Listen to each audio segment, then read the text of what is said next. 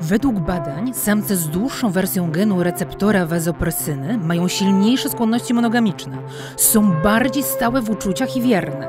Reasumując, im dłuższa wersja tego genu, tym z wierniejszym partnerem mamy do czynienia. Czyli rozmiar ma znaczenie. Pytanie tylko, jak sprawdzić długość tego genu naszego partnera. Macie jakieś pomysły? Dajcie znać w komentarzu.